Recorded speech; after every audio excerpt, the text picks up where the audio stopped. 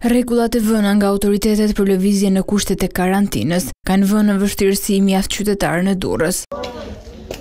Shqetësimi më i madh është ndërprerja e aktivitetit ekonomik, gjë që ndikon drejt për së drejti në përditshmërinë e tyre. Qytetarët ankohen se premtimet për furnizime me ushqime nuk po mbahen.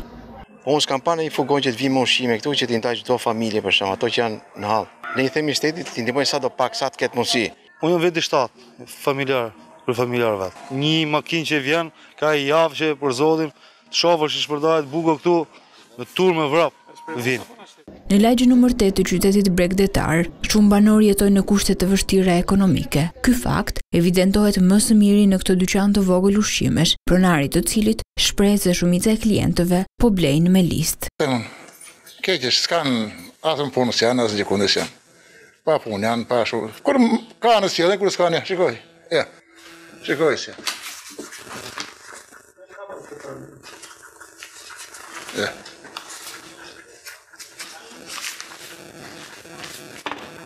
Ja, kam edhe shumë atë që kanë këtu për sjellë të jesë. Rregullat e karantinës detyrojnë pensionistët të mos dalin nga shtëpia për të blerë ushqime. Pjesa më e madhe e të moshuarve që banojnë në këtë lagje thonë se askush nuk ka ardhur për t'i ndihmuar dhe ata nuk janë në gjendje për të dalë vetë. Na po dhënë gati ca ushqime, ama ato po i hamë. Marojnë ato ku do shkojmë ne? Të vdesim në thamë, po kam apliku të shojmë tash. Ça mund të bëjmë? Edhe unë jam një pensioniste burrë e gru, burrin e kam paralizum, kam shpi, Edhe rrin me hall e me zeza.